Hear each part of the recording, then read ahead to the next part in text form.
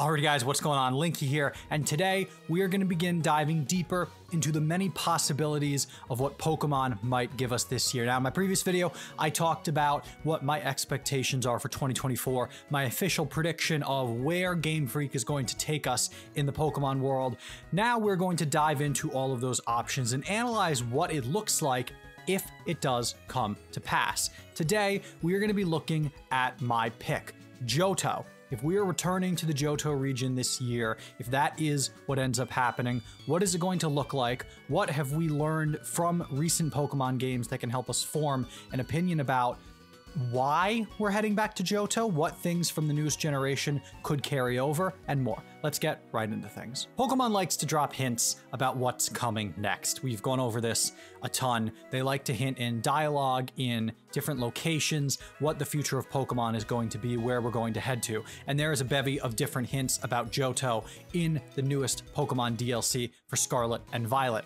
One of the most obvious ones that I feel like not a lot of people are talking about is the inclusion of Johto items. Perrin gives you Pokeballs that are used in the Johto region, and in their description of the item, they specifically reference the Johto region.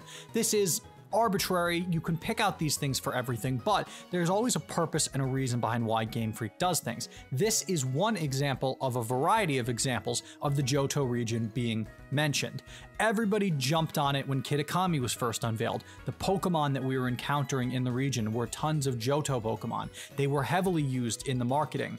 Johto seemed to inspire Kitakami and the culture and society that we were visiting. It was more Japanese than some of the other regions we've visited in the past. And of course, Kanto, Johto, Sinnoh, Hoenn are based on different parts of Japan. This is obvious connections. This is skin deep. This isn't, you know, super complicated. There's the the timeline of Pokemon games and how we are at the point where Johto is the region we have visited the least. We know Game Freak listens to all of this. So, let's say it's true. We're going back to Johto. Is it going to be a Legends Johto game? If it is, I would expect it to continue the story of Legends Arceus. Legends Arceus set up a ton for us in the lore and the history of Pokemon in a period of time that we really didn't know much about. Pokemon's funny. There's a lot of modern day in Pokemon. From 1996 up until now, we basically get to follow the Pokemon world as it continues to evolve, and fans of various degrees have tried to place all of the individual games on a timeline. Where does Pokemon Fire Red and Leaf Green fall in relation to Diamond and Pearl? Where does it fall in relation to Omega Ruby and Alpha Sapphire? We of course know through ORAS Delta episode that each of these individual games take place in their own universe, but every universe has these games and the events of those games play out differently in those universes. So you can still map it on a bit of a timeline. What comes first? Red and blue or ruby and sapphire, that sort of thing. But on top of that, there's also Pokemon that are continuing to evolve. The story in Legends Arceus introduced forms of old Pokemon that we didn't already have. So, if we go back to the Johto region, I would expect this to continue. I would expect us to get new Pokemon native to the Johto region that weren't already there in the present. Those Pokemon are going to have forms that relate to the Hisuian forms that we got in Legends Arceus. On top of getting new forms, I would also expect that some of the hints we got about how people migrated from the Johto region up into the Sinnoh region will continue to be explored. It will probably have something to do with what happened in the events of the Burned Tower, where people went after the town was attacked and destroyed by the storm and by the legendary Pokemon. All of that is in play. The Lake of Rage, that is the furthest north that we see in the Johto region. How does the Lake of Rage's presence and Sinjoh to the north of that play into the story of Pokemon in this time period? There's a lot there to unpack. They began to hint at it through various different scrolls and texts in Legends Arceus, talking about how the original people of Sinjoh came up, the Celestica people, and founded this land of Hisui. This is something that we didn't get all of the answers to. This is something that they allowed us as the audience to kind of form our own views and opinions on. And I do think this will continue in a Johto game. We're probably going to get lore about the original settlers of Johto and what their goals were in expanding from the Johto region. So much of Legends Arceus was talking about how people came to this land. You show up as a stranger. This is just another example of people showing up to this land. In Johto, I would be willing to bet that the people are already pretty established. People have been living in this land for eons. They've probably been here forever. The question and the story that will pose in a Legends Johto game will be what's the next step?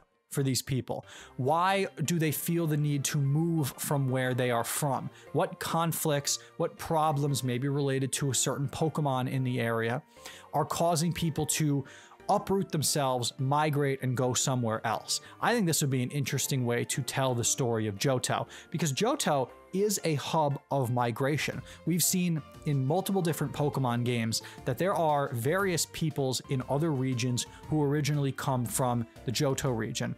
In Pokemon Sun and Moon and Ultra Sun and Ultra Moon, we learn that some of the cities in the Alola region are founded by people from Kanto and Johto. This is talked about in dialogue in different cities on different islands, and we get the sense that people came to the Alola region from these landmasses. We also, of course, know that they went north to the Sinnoh region and they originally founded Sinnoh. So the people of the Johto region really spread their wings and migrated and established a history and a culture from Johto that connects to a lot of these other regions. Now, before going any further, I just wanted to mention that the vast majority of you guys who are watching these videos and hopefully enjoying them aren't subscribed to the channel. Now, of course, subscribing is free and you can unsubscribe anytime. And if you do subscribe, be sure to turn that notification bell on so you never miss another upload. I would expect that if we go to an ancient Johto in Legends, if this is not maybe a spin on the Legends formula and it's in the future or the present, they do something radically different. If they stick to the same structure and it is something in the past, I would love to see the beginning of that. Why do people leave?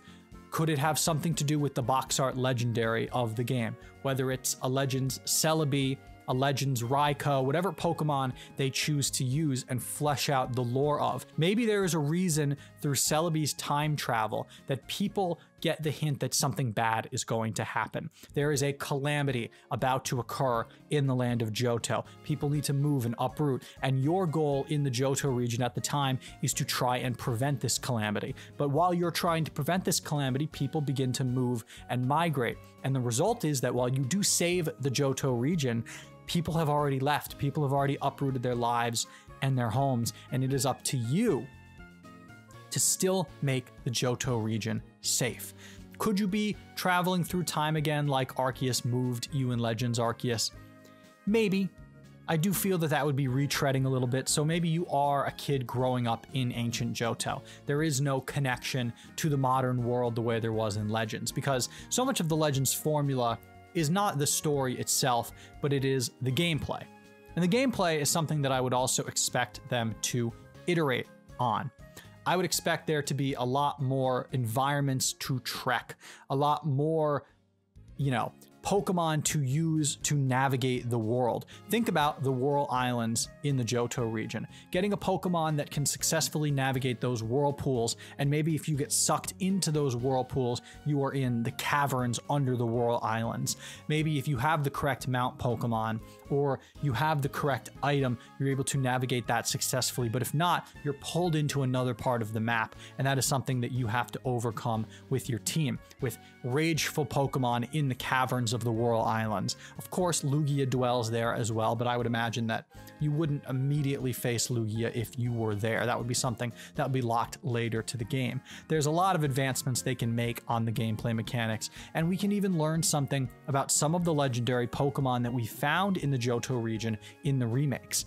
In the remakes, once you completed the main story of the game, there were various different legendaries from other regions you were able to capture, whether it was Groudon, Kyogre, and Rayquaza, or some of the event legendaries like bringing Arceus over, traveling to Sinjoh, and getting a Dialga, Palkia, or Giratina of your choosing.